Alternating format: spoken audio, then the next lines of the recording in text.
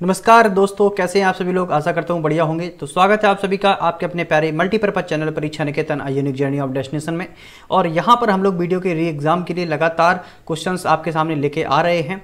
और उसी क्रम में आज हम लेकर आए हैं यूनिट टेस्ट ट्वेल्व जहाँ पर हम लोग जनरल साइंस के क्वेश्चन को डिस्कस करने जा रहे हैं। और ये वो क्वेश्चन साइंस के हैं, जो पिछले एग्ज़ाम्स में प्रीवियस ईयर में आपके सामने पूछे गए थे। तो बिना समय को बर्बाद करते हुए बढ़ते हैं आज के अपने पहले क्वेश्चन की ओर, देखते हैं पहला क्वेश्चन क्या है। क्वेश्चन नंबर वन आपके सामने है, लिखा हुआ है निम्नलिखित में से कौन सा सबसे अधिक तन्य धातु है? तन्य धातु का मतलब क्या होता है? जिसको खींचा जा सकता है। यानी कि कोई ऐसी धातु आपको बतानी है जिसको सबसे ज़्यादा खींचा जा सकता है तो वो आपको बताना है। क्या सोना है, क्या तांबा है, क्या प्लेटिनम है या फिर चांदी है?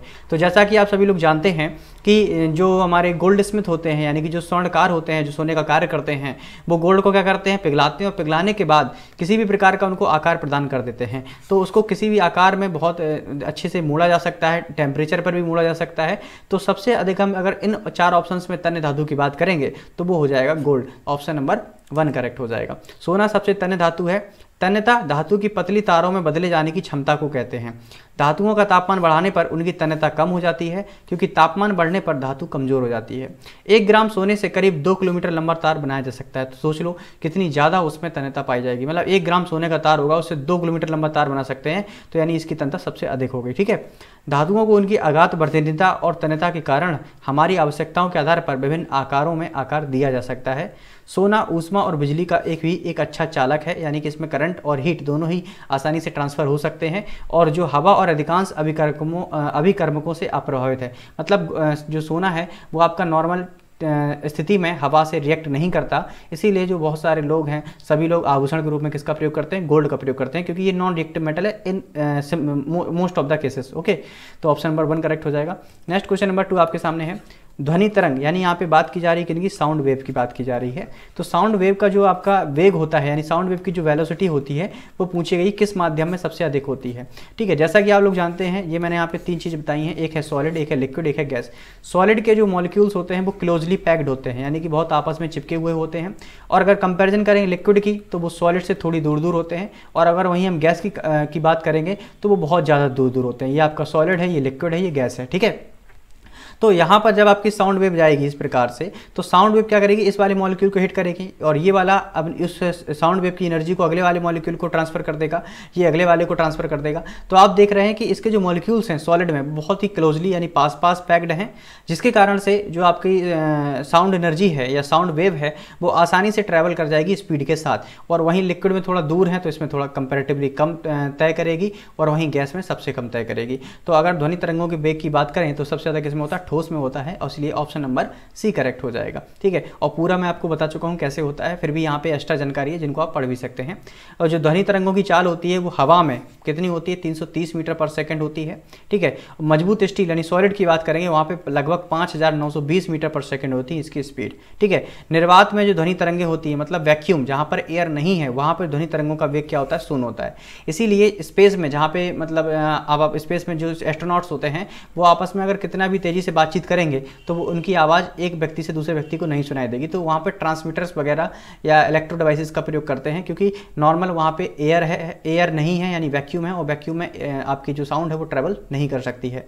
और अगर हम बात करेंगे पानी में पानी में जो साउंड वेव्स की स्पीड होती है, वो होती है वन मीटर पर सेकेंड तो ये सारी आपको छोटी छोटी जानकारियाँ बिल्कुल याद रखनी है, क्योंकि फैक्चुअल क्वेश्चन भी बन सकते हैं आपके सामने, ठीक है? नेक्स्ट क्वेश्चन नंबर थ्री है। निम्नलिखित में से किस प्रक्रिया में ऑक्सीजन की आवश्यकता नहीं होती है? प्रकाश संश्लेषण में नहीं होती है, वायु श्वसन में नहीं होती है वायवी श्वसन यानी कि इसको बोलते हैं एरोविक एरोविक एरोबिक रेस्पिरेशन और रेस्पिरेशन जब कोई भी करेगा, चाहे इंसान हो, चाहे पेड़ पौधे हों, वहाँ पे ऑक्सीजन की नीड होती ही है। तो यानी कि ये ऑप्शन तो गलत हो जाएगा।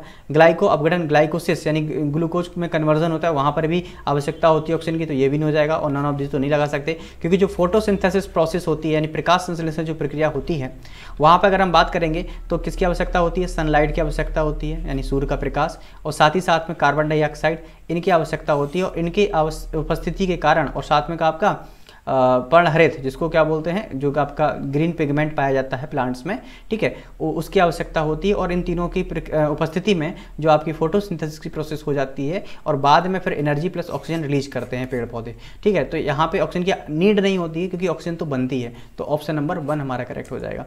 ठीक है? और ये पूरी प्रक्रिया मैंने आपके सामने जो बताई है, वो यहाँ पे लिखी है कार्बन डाइऑक्साइड, ठीक है? पानी और प्रकाश, इसकी उपस्थिति में ग्लूकोज और ऑक्सीजन बनती है, ठीक है? ये आपने देख लेना। Okay, next question number four आपके सामने है।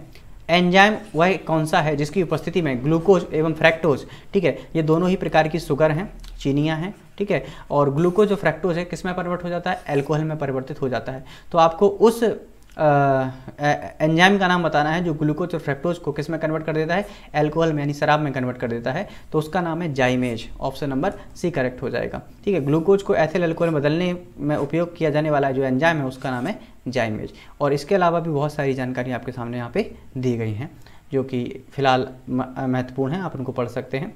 नेक्स्ट क्वेश्चन नंबर फाइव है।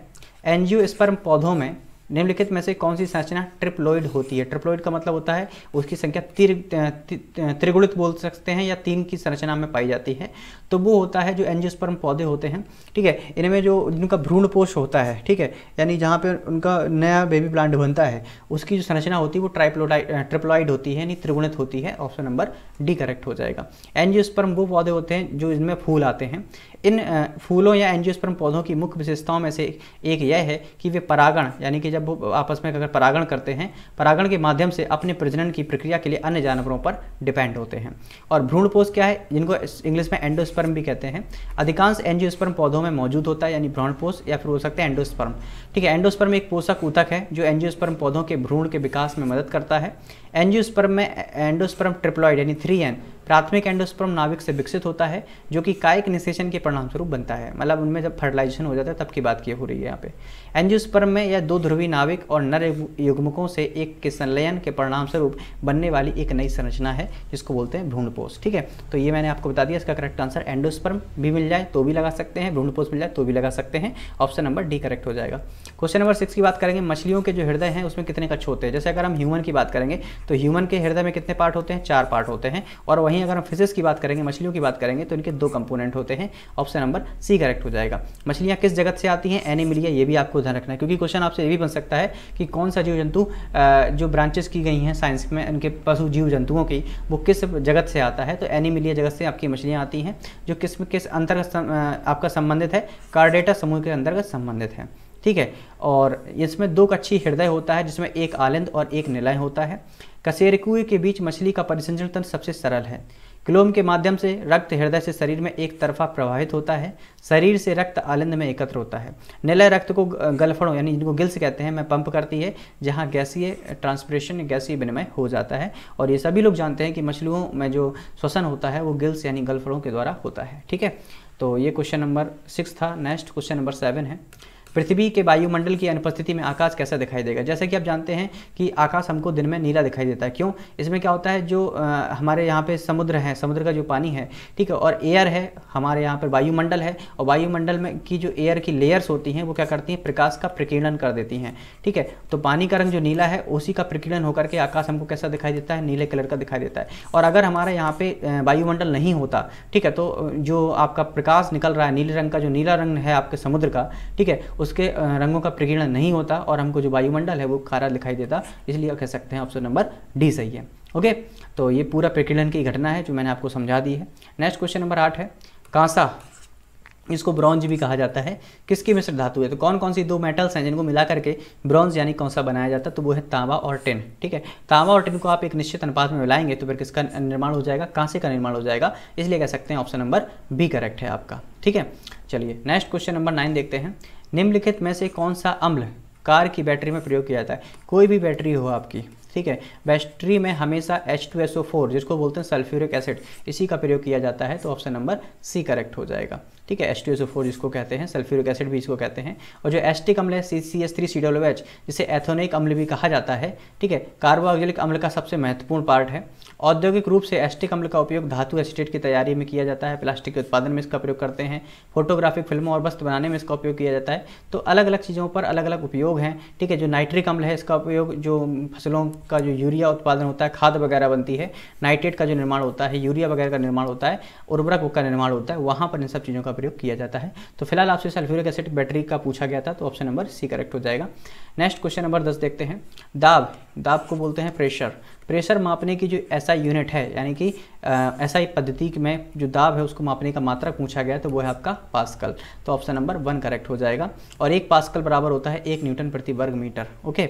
आधार इकाइयों में एक पास्कल बराबर एक किलोग्राम इंटू वही उसमें लिखा है, मीटर इनवर्स या सेकंड स्क्वायर। इसको ऐसे भी लिख सकते हैं, kilogram into metre sorry upon metre into second square ठीक है, ऐसे भी लिख हैं और ज्योति तीव्रता की मात्रा क्या है? कैंडला है। और तापमान का ऐसा ही मात्रा कैलविन है और विद्युत धारा का ऐसा ही मात्रा क्या है? एम्पियर है। तो ये सारी जानकारियाँ भी आपको दिमाग में बना के रखनी है। ठीक है, नेक्स्ट क्वेश्चन नंबर सत्रह देखते हैं। अशुद्ध जल अशुद्ध जल मतलब इम्प्योर वाटर इम्प्योर वाटर को शुद्ध किस प्रकार से बनाया जा सकता है? तो अगर आप उसमें फिटकरी डाल देंगे तो भी उसको प्योरीफाई कर सकते हैं, और अगर आप उसको उबाल देंगे तो भी उसको प्योरीफाई किया जा सकता है। तो इसलिए हम कह सकते हैं कि दोनों ही हम ऑप्शन हमारे बिल्कुल करेक्ट हैं। अशुद्ध जल कुछ कुछ अन्य यौगिक जैसे क्लोरीन फ्लोरीन रेत, भारी धातुओं और अन्य रसायनों के साथ इसको मिली ची, मिली हुई चीज़ें होती हैं और हम इन दोनों तरीकों से जल की आसानी को शुद्ध कर सकते हैं। फिटकरी डाल करके, फिटकरी एल्यूमिनियम सल्फेट होती है यह जल में एक स्कंदनकारी कारक के रूप में कार्य करती है तो यानी जो इम्प्योरिटीज़ होती हैं, वो आपकी छन करके अलग नीचे तली में बैठ जाती हैं और पानी को हम बाहर निकाल सकते हैं शुद्ध रूप से। ठीक है तो ऑप्शन नंबर दोनों हमारे सही हैं। ओके नेक्स्ट क्वेश्चन नंबर ये हमारा कौन सा था? इसके पहले सिक्सटीन मैंने लगता आई थिंक गलत लिख दिया। हाँ नाइन था, ये फिर टेन हुआ, फिर ये इलेवन था। अब नेक्स्ट क्वेश्चन नंबर ट्वेल्व आपके सामने। ठीक है? लाल टेन की जो मोमबत्ती में मिट्टी का तेल ऊपर चढ़ने का क्या कारण है? तो आपने जब आप क्लास ट्वेल्थ में होंगे, तब आपने घटना पड़ी होगी केसिकत्व की घटना। किसकी घटना पड़ी होगी? केसकत्व तो केसकत्व में क्या होता है? जैसे मान लो ये बत्ती है और यहाँ पे भरा हुआ ऑयल तो जब ऊपर की बत्ती फ्लेम में जलती जाती है तो नीचे का जो ऑयल है, वो धीरे धीरे क्या होता है, इस बत्ती में चढ़ता हुआ चला जाता है। तो इस प्रकार की घटना क्या कहलाती है? केसिकत्व कहलाती है। इसलिए कह सकते हैं ऑप्शन नंबर हमारा सी सही है। केसिकत्व या केसिका नली, जिसको शोषक सामग्री में तरल की प्रवृत्ति, सतह तनाव के परिणाम स्वरूप जो सरफेस टेंशन होता है, उसके परिणाम स्वरूप ये क्या करती है? ऊपर गिरने या बढ़ने का कार्य करती है। इसको, इस घटना को केसिकत्व कहते हैं, ठीक है? तो ऑप्शन नंबर सी करेक्ट हो जाएगा। नेक्स्ट क्वेश्चन नंबर थर्टीन है। रक्त में, यानी ब्लड में कैल्शियम का स्तर किस हार्मोन द्वारा बनाए रखा जा सकता है? तो उस हार्मोन का नाम आपको बताना है, जिससे कैल्शियम का स्तर बना सकते हैं किसमें ब्लड में। तो उसका नाम है पैराथॉर्मोन, ठीक है? ऑप्शन नंबर वन करेक्ट हो जाएगा। एक हार्मोन एक जीव के शरीर के अंदर उत्पादित एक प्रकार का नियामक पदार्थ है। उत्पादन के बाद इसे विशिष्ट कोशिकाओं या ऊतक को क्रिया में उत्तेजित करने के लिए रक्त जैसे द्रव ऊतक में ले जाया जाता है। पैराथार्मोन हार्मोन की बात करेंगे, मानव शरीर में रक्त कैल्शियम का स्तर पैराथायराइड हार्मोन द्वारा नियंत्रित किया जाता है। इसका शॉर्ट फॉर्म क्या है? PTH, parathyroid. ठीक है, या पैराथार्मोन बोलते हैं इसको। पैराथायराइड ग्रंथियों में बनता है। इसका मुख्य कार्य हड्डियों से रक्त में कैल्शियम की रिहाई को प्रोत्साहित करना होता है। फिर यह कैल्शियम ब्लड से कोशिका द्वारा उपयोग किया जाता है। तो ये आपका हार्मोन कौन सा हो गया? पैराथार्मोन, ऐसा हार्मोन है जो ब्लड में कैल्शियम के स्तर को क्या करता है? बैलेंस करता है। ऑप्शन नंबर वन करेक्ट हो जाएगा। नेक्स्ट क्वेश्चन नंबर फोर्टीन है आपके सामने। कौन सी रुधिर कणिका, यानी कि कौन सी ब्लड कणिका है, जिससे रुधिर के ब्लड क्लॉटिंग में हेल्प करती है। ब्लड क्लॉटिंग की बात की जा रही है। तो सभी लोग जानते हैं कि ब्लड क्लॉटिंग में किसका उपयोग किया जाता है, या कौन सी चीज़ें होती हैं जो सहायक होती हैं तो वो होती हैं आपकी प्लेटलेट्स कौन सी होती हैं?